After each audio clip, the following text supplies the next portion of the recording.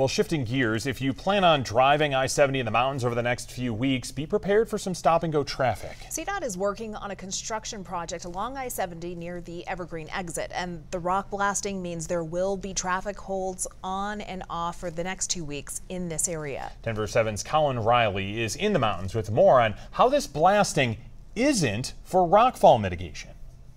Now, CDOT isn't blasting these rocks off of a steep cliff face. This is on a hill that's set back and angled away from the road, so they're able to drill down and detonate their explosives 25 feet deep. How do you turn the side of a rocky hill like this one into a flat surface parking lot with room for 40 spaces and a bus stop?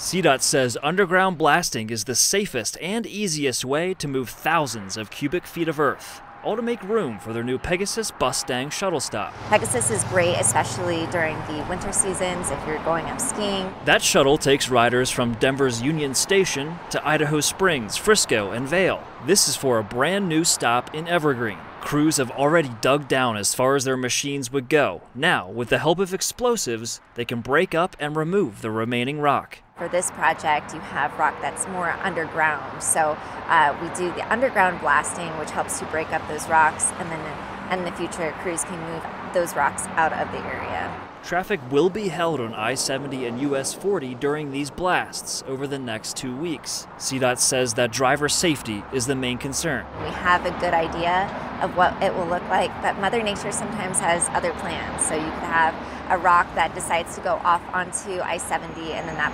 potentially puts motorists at risk. So we need to do the I-70 traffic holds just as a safety precaution. And keep in mind that there will be no detours. If you do get stuck in a traffic hold, CDOT asks that you stay on the road and wait. Blasting should wrap up by the end of next week. Then, once all that earth is moved, construction can begin on the Pegasus shuttle parking lot, which CDOT hopes to be up and running by December. Along I-70, I'm Colin Riley for Denver 7.